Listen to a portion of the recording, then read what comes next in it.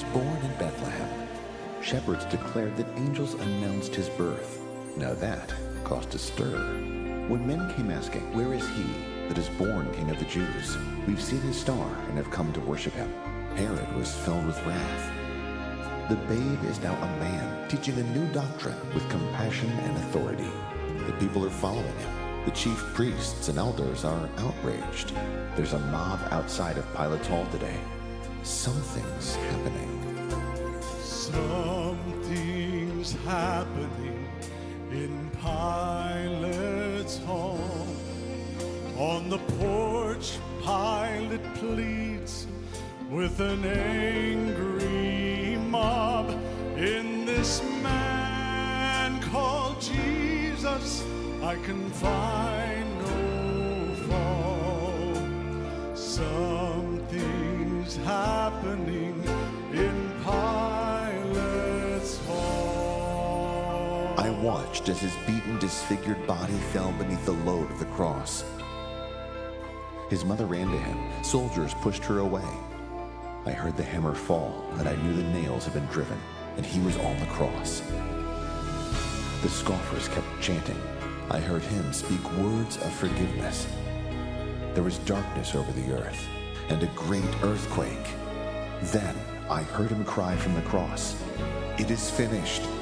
We watched him die, but somewhere deep within my being, I knew this was not over.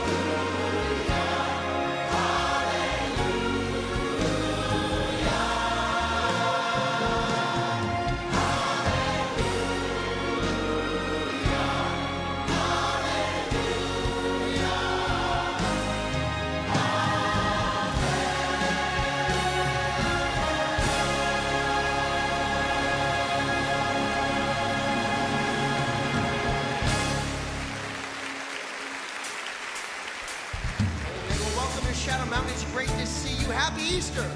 Would you please stand to your feet? Let's praise the Lord together. I was beneath my shame.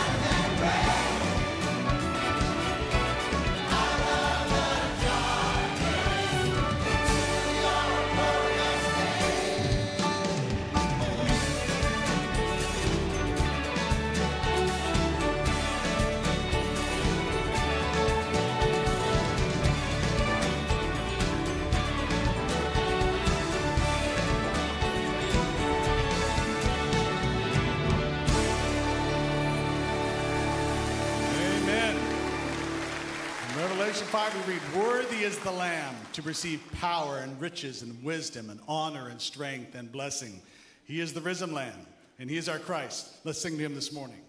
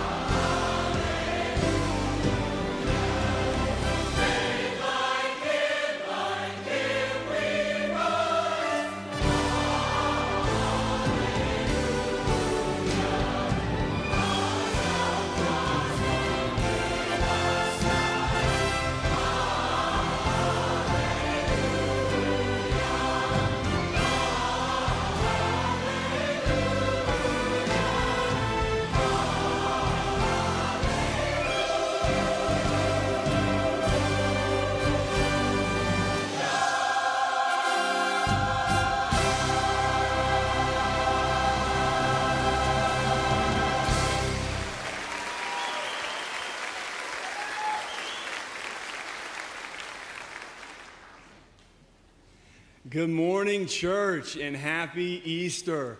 We have two of our high school students here to get baptized this morning. This is Peyton Grossett, and she's going to start us off by sharing her testimony.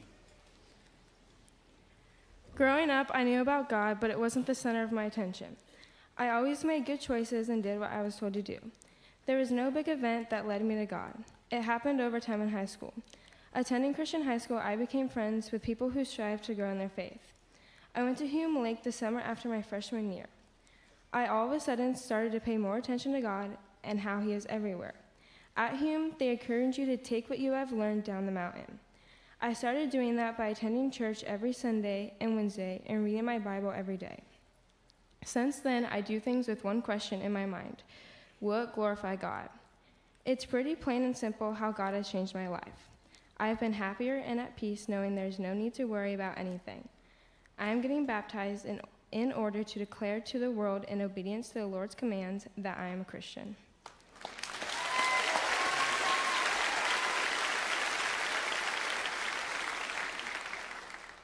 Peyton, based on the testimony of your faith in Jesus, I baptize you in the name of the Father, the Son, and the Holy Spirit.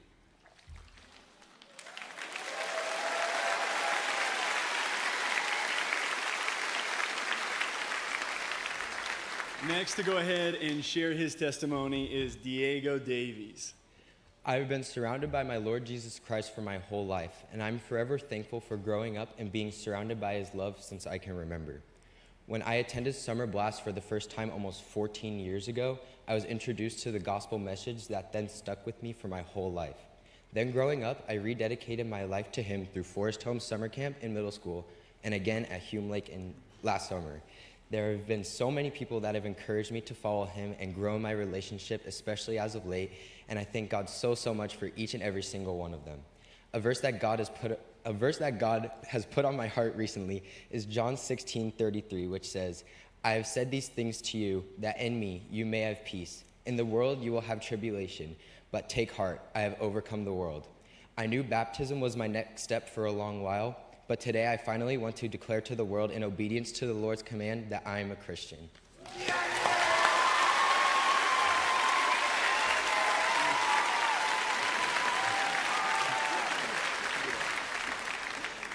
Diego, based on the testimony of your faith in Jesus, I baptize you in the name of the Father, the Son, and the Holy Spirit.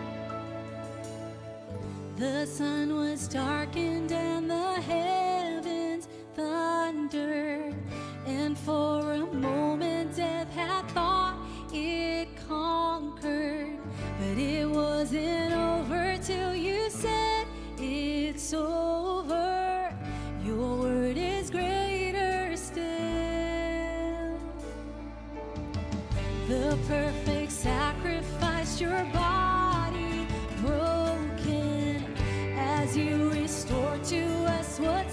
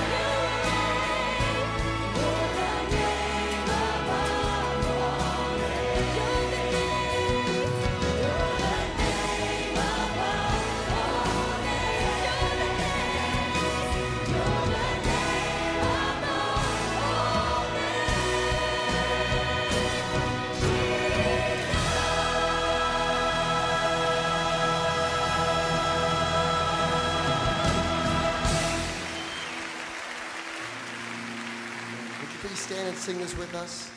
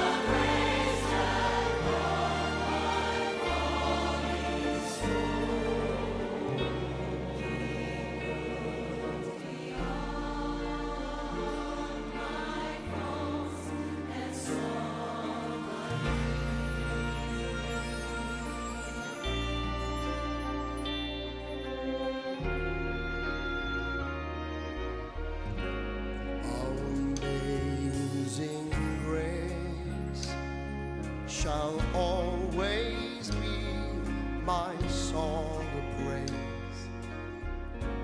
And for it was grace that bought my liberty.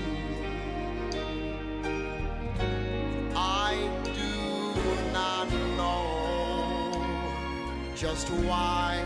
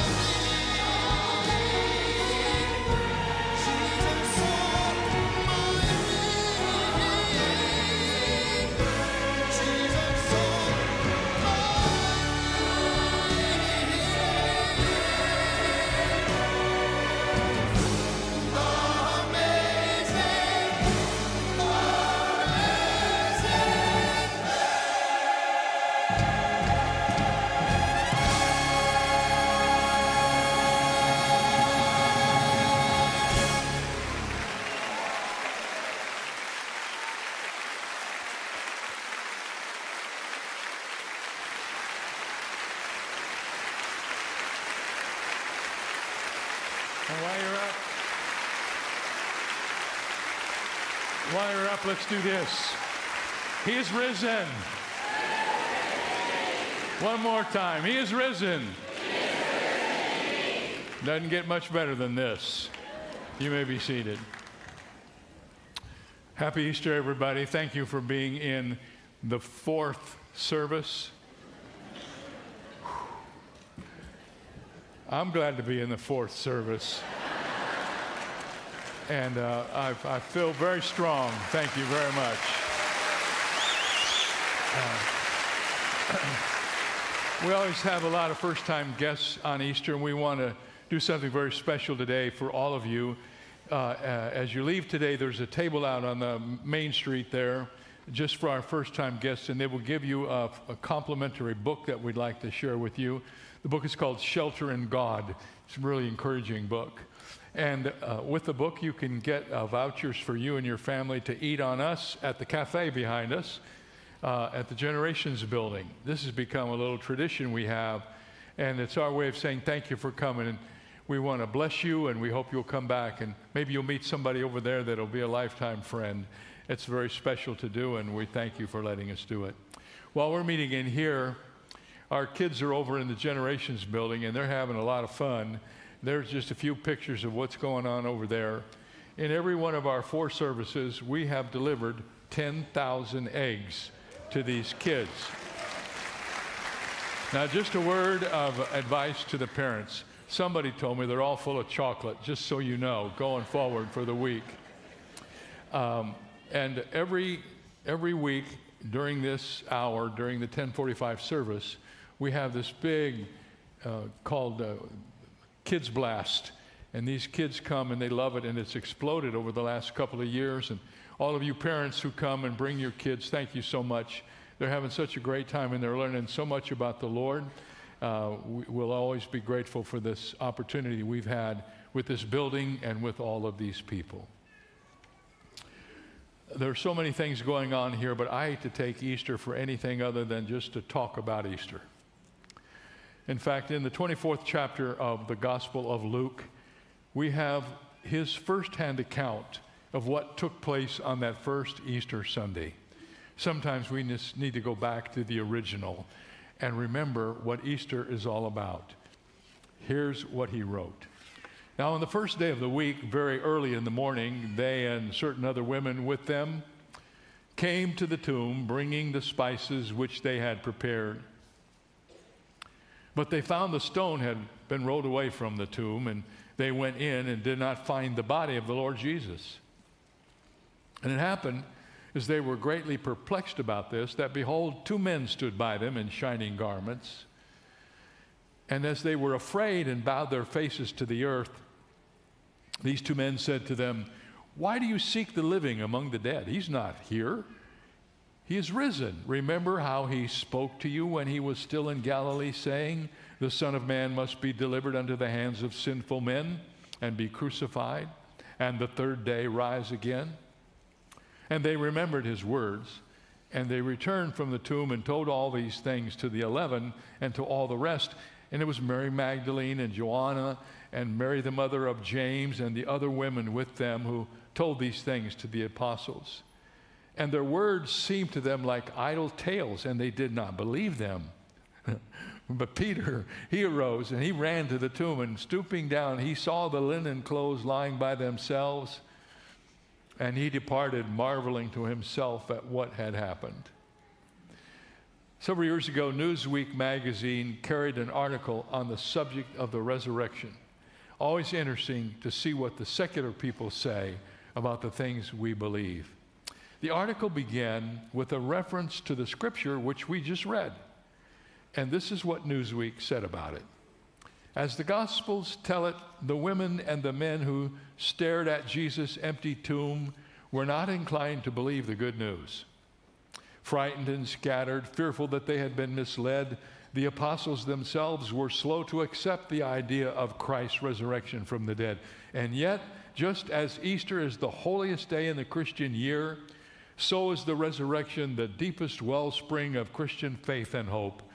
For if God can raise Jesus to everlasting life, mankind can also expect to dwell with him in heaven. That's not bad for a secular newspaper. Kenneth Woodward, who wrote that article, put the importance of Easter in perspective when he said, The resurrection of Jesus Christ is the only hope we have of a future after death. Christ himself wrapped the two events in one sentence when he said, I am the resurrection and the life.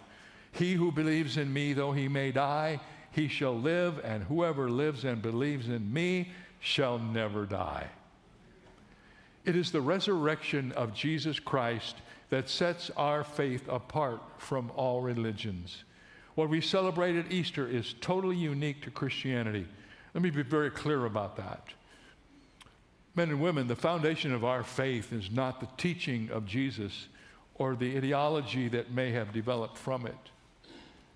The foundation of our faith is not the Christian worldview, as important as that is. The foundation of our faith is not the wonderful life of Jesus with his compassionate miracles. The foundation of our faith is not even the death of Jesus Christ. All the religious leaders of the world have died. In that respect, Jesus Christ would be no different. No, the foundation of our faith is the well established record of the resurrection of Jesus Christ. Christ said that he would die and that in three days he would come back from the grave. He did exactly what he said he would do, and it was that event that exploded into the hearts of the disciples and convinced them that this Jesus was he who he had claimed to be, the only begotten Son of God. John S. Whale said the Gospels do not explain the resurrection, the resurrection explains the gospel. Belief in the resurrection is not an appendage to the Christian faith, it is the Christian faith. I don't know about you, but I grew up in a, in a good church. My father was a pastor, he was a good teacher, and many good Sunday school teachers. I always believed in the resurrection and knew it was important, but I didn't know it was the important thing in the faith. In fact, I was a second year student in seminary before I figured that out. It happened like this Donna and I were invited to a special banquet that was being held. They, they were doing these all over Dallas Fort Worth where we were students. They were called uh, friendship banquets. And all of the students and seminary family were told to invite their friends to these banquets. And one of the professors from the seminary or one of the teachers would come and speak at this banquet and share the gospel. We were invited to this event, and our teacher was Haddon Robinson, the head of the theology department uh, of preaching. And I went to that event expecting to hear a rip roaring sermon on the cross of Jesus Christ and his death and how you could be saved through the death of Christ. To my surprise, he spent the whole night talking about the resurrection. He mentioned the death of Christ because you have to do that if you're going to talk about him being raised. And for the first time in my life, I realized the resurrection is at the core of everything that Christians claim to believe. In this Easter message, I want to show you why that is true. And I want to help you get to where I got after that banquet and how it's so much been a blessing in my life. The first thing I want you to understand is that the resurrection matters to Christ. Let's start by putting the focus on the Savior, who's the star of this show. The resurrection matters to Christ, and it matters to Him for at least three reasons. First of all, the resurrection vindicates Christ's word. Do you remember what we read a few moments ago? What the angel said to the women at the tomb? They said, Why are you looking among the dead for someone who is alive? He, he's not here, he's risen. Remember how he spoke to you when he was still in Galilee, saying, The Son of Man must be delivered into the hands of sinful men, be crucified, and the third day rise again. The women, we are told, remembered Jesus' words. They recalled that Jesus had promised that he would die and that he would be raised three days later. During his ministry, Jesus often predicted his death and his resurrection. That's really important because periodically you will meet somebody who's a critic of the resurrection and they will say something like this Even Jesus didn't, didn't believe in the resurrection. Jesus never said he was going to be raised. If anybody ever says that to you, you can know one thing about them they don't read the Bible. Because three times, even in the book of Matthew, Jesus told his followers about the resurrection. In the 16th chapter, in verse 21, we read that from that time Jesus began to show to his disciples that he must go to Jerusalem and suffer many things from the elders and chief priests and scribes and be killed and be raised the third day. A little later in Matthew 17, we read, Now while they were staying in Galilee, Jesus said to them, The Son of Man is about to be betrayed unto the hands of men, and they will kill him, and the third day he will be raised up. And on the way to the cross, Jesus told his disciples, Behold, the Son of Man will be betrayed to the chief priests and to the scribes, and they will condemn him to death and deliver him to the Gentiles to mock and scourge and crucify. And the third day, he will rise again. So you say, well, why do you make such a big deal out of this? Why does it matter? Well, it matters because if Jesus promised something that he didn't produce, He's not worthy of anybody's faith. The resurrection is at the very core of the validity and credibility of the gospel. In his book on the resurrection, Steven Mathewson drives this point home for us in our everyday life. He said, Remember that Jesus has risen just as he said when you wonder if he's really with you as he promised. Remember that Jesus has risen just as he said when you doubt his promise that he will take care of your needs for food and clothing if you seek first his kingdom. Remember that Jesus has risen just as he said when you wonder if he's coming back with power and glory. Because Jesus rose from the death just as he said, you can believe what Jesus says. You can know that when he said it, you can trust it and it will happen. So the resurrection vindicates Christ's word and it validates his work. Let me ask you this question. Suppose Jesus had said, I'm going to die, I'm going to be buried, I'm going to rise again the third day, and then he died and nobody ever heard from him again. Would his death on the cross be meaningful? Of course not. The resurrection is what proves the reality of the crucifixion. Someone put it this way the cross is Christ's payment of our debt, the resurrection is God's receipt for the full amount. so you see, the resurrection is important to Christ because it validates his work. In fact, throughout the scripture, you hardly ever see the crucifixion mentioned without the resurrection. That's an interesting discovery. When Paul was writing to the Roman believers in the eighth chapter, he said, It is Christ who died, and furthermore, is also risen. I don't want you to forget that those two things go together. Christ died, furthermore, was risen. Do you know what the gospel is? The gospel is defined for us in a very succinct paragraph in 1 Corinthians 15. And I want to read it to you. And I want you to notice as I read this definition of the gospel that the resurrection is a part of the definition. Watch this. I declare to you the gospel that Christ died for our sins according to the scriptures, and that he was buried, and that he rose again the third day according to the scriptures. You can't have the gospel without all three parts. He died, he was buried, he rose again. There wouldn't be a Good Friday without Easter because Christ would have long since been forgotten as just another martyr who died for what he believed. But Easter, my friends, is what validates the work of Christ. When he came out of that grave, he set himself apart from any other would be spiritual leader. No one ever has claimed to do that, no one ever has done it.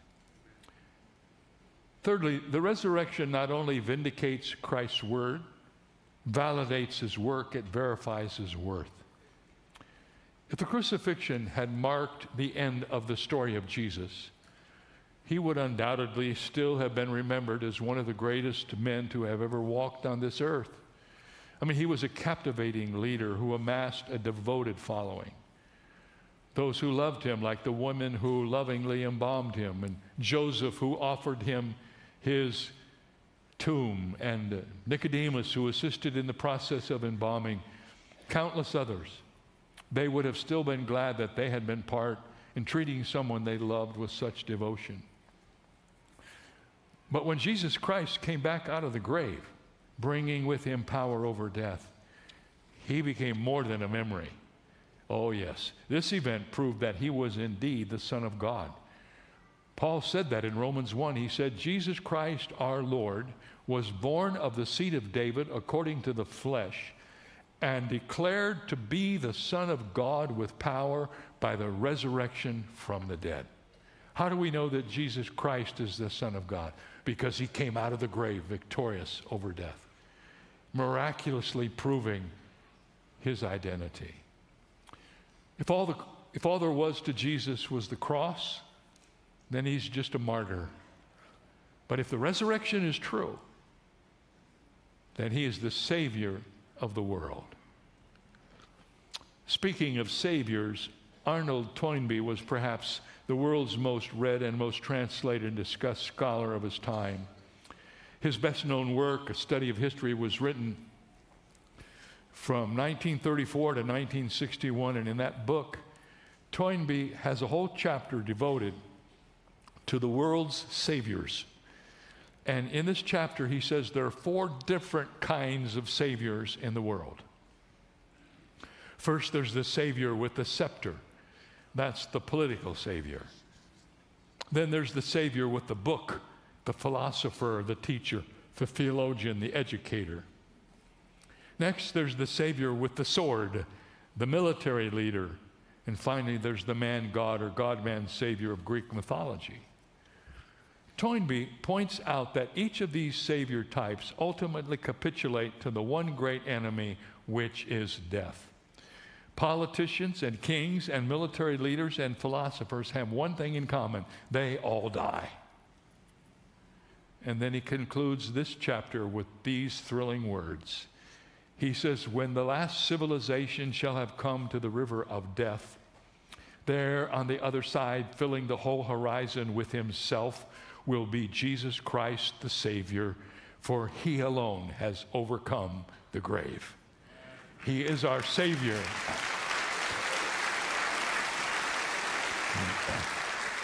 In the mind of the great historian, there is only one Savior who is qualified to save, for he has conquered death.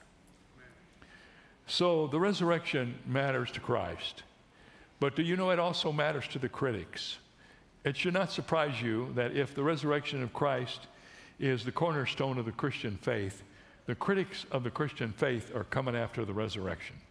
I cannot tell you how many books have been written over the years uh, attempting to disprove the resurrection of Jesus Christ. Do you know one of the most astounding statistics about that is well over 50% of them are written by guys who, in the process doing the research, became Christians. These books, which criticize the resurrection, offer various explanations and theories. but I got to tell you something, I've read most of them. It takes more faith to believe the theories than just to believe the truth. I'm not kidding you. Let me explain to you what I mean. Here's a couple of their ideas. The whole, the whole truth, the whole thing that, that's the deal here is they have to explain the empty tomb. They have to explain it. So one of the, one of the explanations they concocted was what they call the wrong tomb theory. And here's how this works. According to this theory, the women who discovered that Jesus' body was missing had simply gone to the wrong tomb by mistake. But think about that. If that's true, all the Jewish leaders who were trying to disprove the resurrection would have had to do is go to the correct tomb and produce Jesus' body. But they didn't do that because it was, in fact, the correct tomb. It was just an empty correct tomb. And here's my favorite one. This is called the swoon theory. Say that with me the swoon theory. To swoon means to faint or lose consciousness. And this is what they came up with here. According to this theory, the disciples mistakenly believed Jesus was resurrected when he was really just resuscitated. That he didn't die, but was only unconscious and was laid in the tomb. Now, consider what you have to believe in order to accept this theory. First of all, you have to believe that Jesus survived a six hour crucifixion. Then you have to believe that he somehow managed to survive for three days in the coldness of a tomb.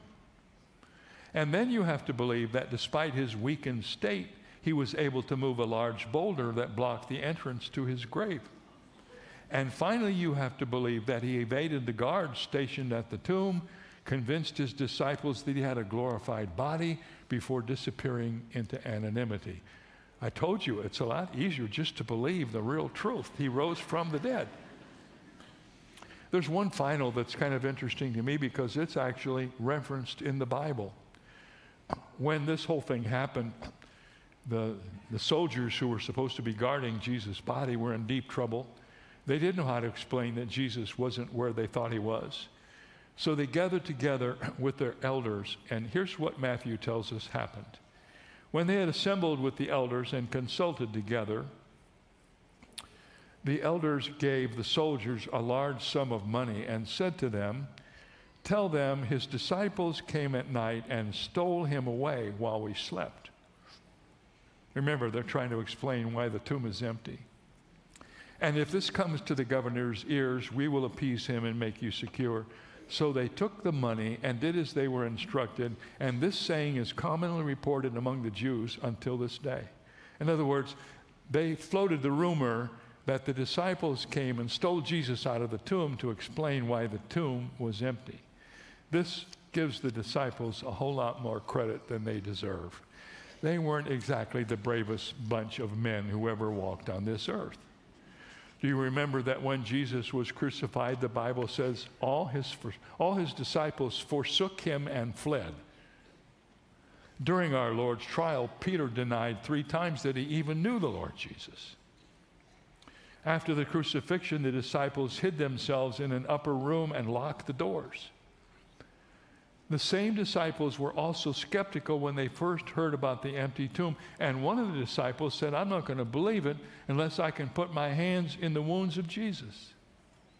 Two disciples on the road to Emmaus doubted the reality of the risen Lord while they were at the same time talking to the risen Lord. But after Easter, all of Jesus' disciples were willing to die as martyrs for preaching about his resurrection. They didn't care what anybody said. They knew Jesus was risen. They knew this was the new message of the gospel. They went everywhere preaching. And if you study the sermons in the book of Acts, they are pregnant with the truth of the resurrection. Now, let me just tell you, it would be highly unlikely for them to sacrifice their lives for something they knew was a hoax. If they had really stolen the bodies from the tomb, the body from the tomb, do you think they would have gone to their death on behalf of that rumor? So, what happened? What happened was the resurrection. What happened was Jesus came out of the grave after three days victorious over death. And ladies and gentlemen, the resurrections for the, the evidence for Jesus' resurrection is so strong that nobody would question it except for two things. First of all, it's an unusual event. And secondly, if you believe it happened, you have to change the way you live. Finally, the resurrection matters to Christ and the critics, and it matters to Christians. I don't know if you've noticed, but we seem to have been witnessing a lot of death on our televisions of recent days. Massive funeral yesterday in New York, shootings in just about every imaginable place. I don't remember ever being so conscious of that. Maybe it's just that we haven't had the ability to track it. But death is a very present subject for many very depressing. The Bible says that some people live their whole life in bondage because of the fear of death. We don't want to admit it. We all share the same fate. The statistics on death are 100%. And they don't lie. It's the mature person who faces this reality head on. But here's the amazing thing those of us who have met the risen Christ, the one who conquered death itself, no longer have to fear death. Death is just a transition to the next life. Christians have a great perspective on death. We don't want to die, and we'll fight to live with all our might, but when we have this hope of Jesus within us, we are not afraid to face death because we know what comes next. The resurrection of Christ offers us even something more than that, something unparalleled. Other religions may promise spiritual afterlife or bliss. They only offer solace for what has been lost. But the resurrection of Christ promises restoration. It's not just about getting your life back, it's about getting your life back, the life you always wanted but never experienced. Through Jesus Christ, you can have confidence that you will lack nothing in the future, that when He comes, it will all be right. Nothing will be left out. It's all coming in the future, and it's going to be unimaginably wonderful when you know Him. The resurrection of Jesus Christ is your future hope.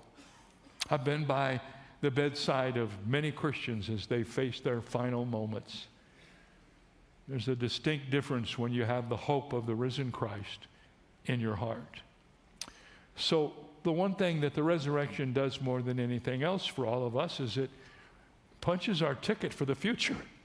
It helps us to understand that God has a plan because He overcame death. He has a plan for us to overcome death and live with Him in eternity and not ever die spiritually. But you know what? The resurrection has a very present ministry to us as well. On our journey from here to heaven, the resurrection has a very important place to play in our lives. It's our hope, it's our reason for everyday life. I think I can explain that best by telling you a story. Most people are surprised after having listened to me for many years that I was an English major in college. But one of the things we did in college, we had to read a lot of the classics. I became acquainted with the writings of Hans Christian Andersen, and I loved his short stories. Here's one of my favorites. It was Sunday morning, and the sun was shining brightly, bringing warmth into the living room. Outside, under God's blue sky, where the meadow was green and fragrant with flowers, the birds were rejoicing. But while there was joy and happiness outside, inside there was sorrow and gloom. Even the wife, who usually was such a cheerful person, sat this morning at the breakfast table and she looked down sadly. She got up without hardly touching her food. She dried her eyes and slowly headed for the door. It was as if a curse had come over this house, like a black cloud. I mean, it, there was an economic depression in the land. Industry was down. Everything in the country seemed to be going down, except, of course, for taxes. Taxes were going up more and more every day. The crops always seemed to be worse than the year before, and now there was nothing to look forward to but poverty and misery. And of course, all of this lay heavy on the man of the house, who was usually such a hard-working, upright citizen, but now he despaired at the very thought of the future. Whatever his cheerful wife said could not console him, neither could the secular or spiritual counselors or his friends, made him even more silent and more depressed. It was no wonder that his poor wife was losing hope. When the husband saw his wife so unhappy that she was about to leave, he stopped her and he said to her, I will not let you go out of this house until you tell me what is wrong.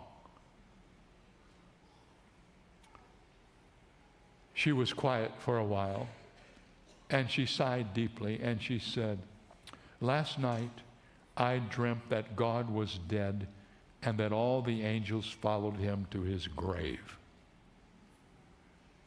How can you imagine such nonsense? said her husband. Don't you know that God could never die? Suddenly, the face of the dear wife was filled with happiness. She squeezed his hand and she said, You mean the good God is still alive? And she embraced him and looked at him with eyes shining with faith and peace and joy. And she said, Since God is alive, why should we not believe in him and trust him?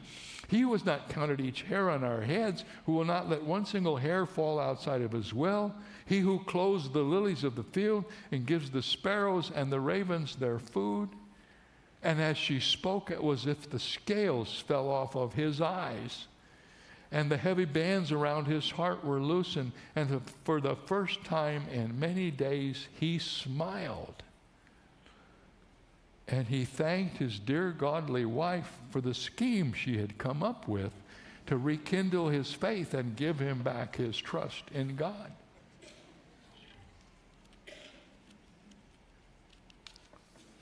Do you see the story that hope is everything?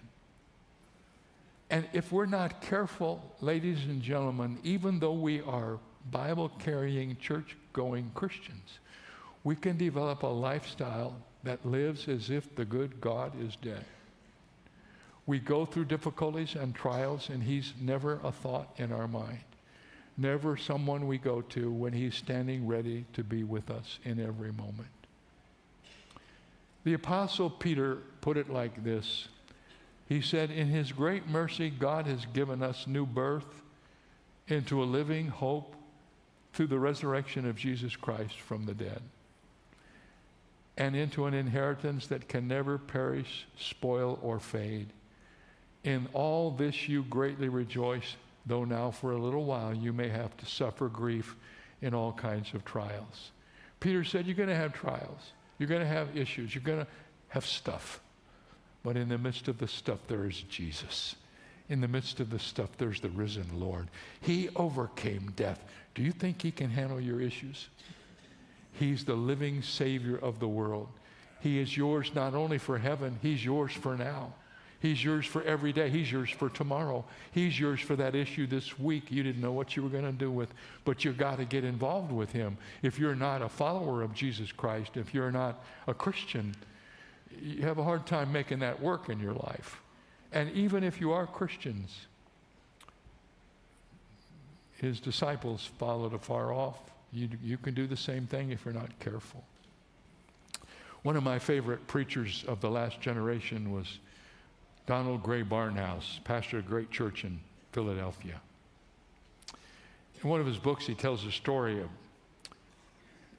Easter vacation one year when he was trying to win this young lady to Christ. She would come and talk to him, and he would tell her about the gospel, and she would say uh, she, she liked the gospel and she wanted to be a Christian, but she just couldn't believe.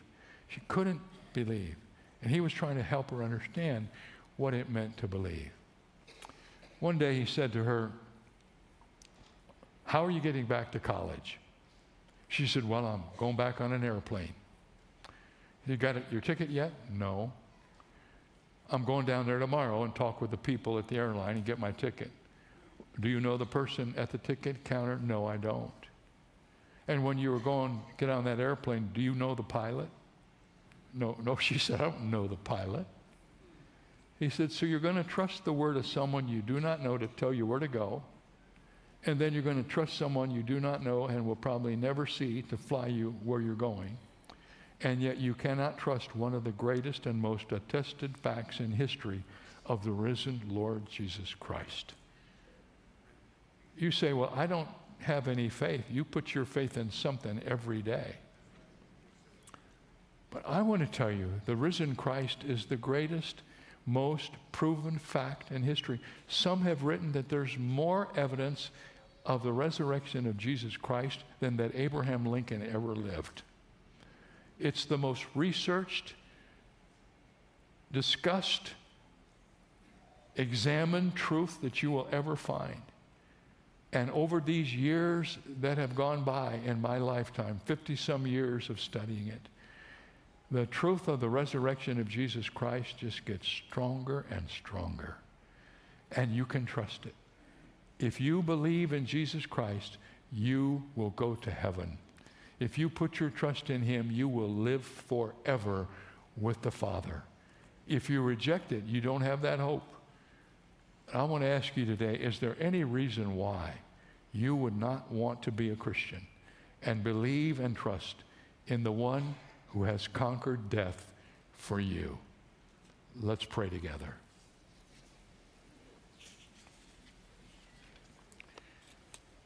Lord, the resurrection is so powerful. We feel its strength just bubbling up in our lives as we talk about it.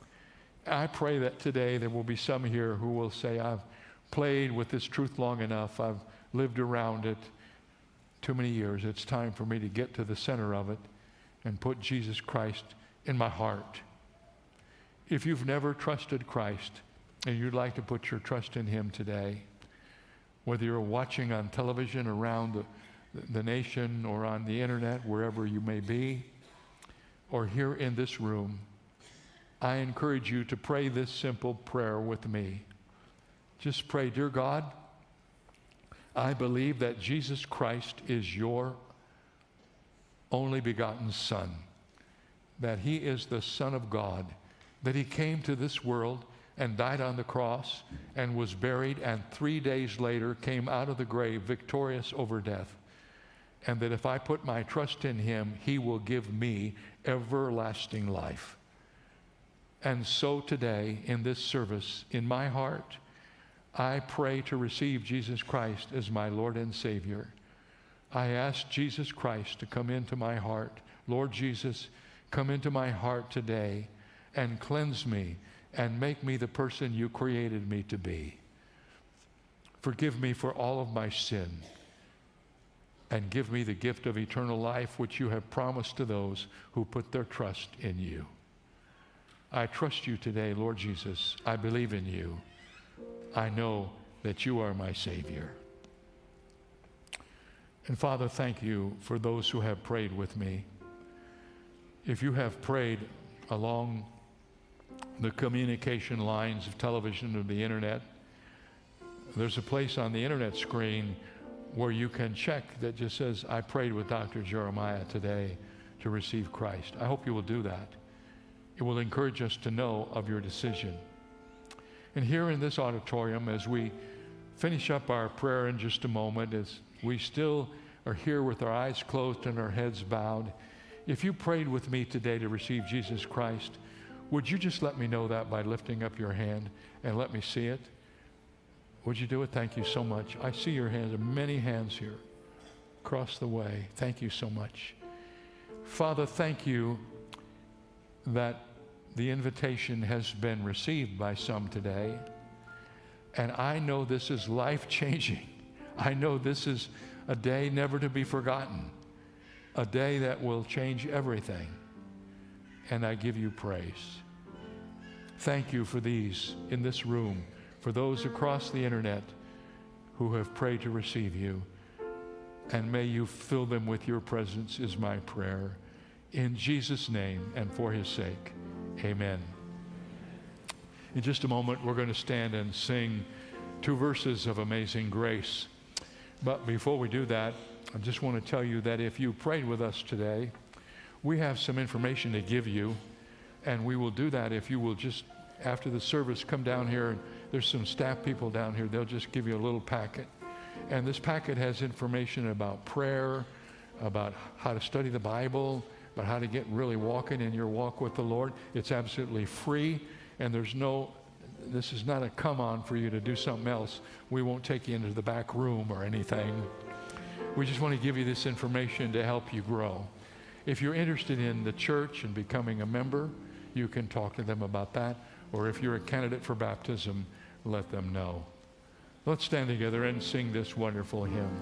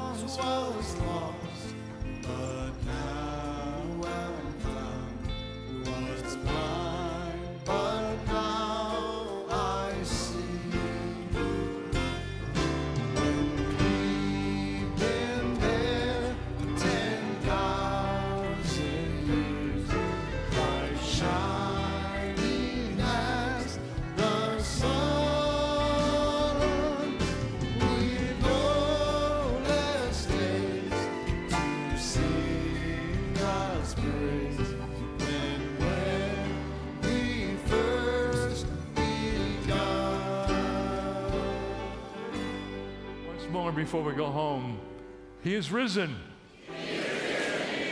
God bless you.